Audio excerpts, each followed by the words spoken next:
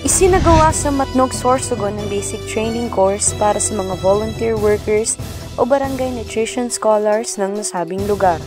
Layunin ng aktibidad na mabigyan ng pangunahing kaalaman at kakayahan ang mga barangay nutrition scholars upang mas mapaunlad at maging epektibo sa pagsasagawa ng kanilang mga trabaho.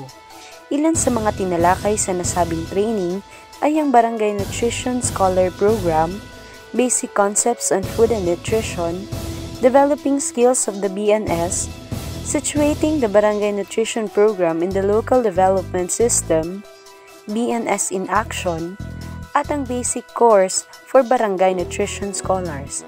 Samantala, nagpaabot naman ng pasasalamat ang lahat ng dumalo sa buong team, partikular na sa Sorsogon Provincial Health Office dahil sa matagumpay na aktibidad. Mula rito sa Sorsogon para sa mata ng Agila, Jelaine Exconde, matatag, matapang, matapat.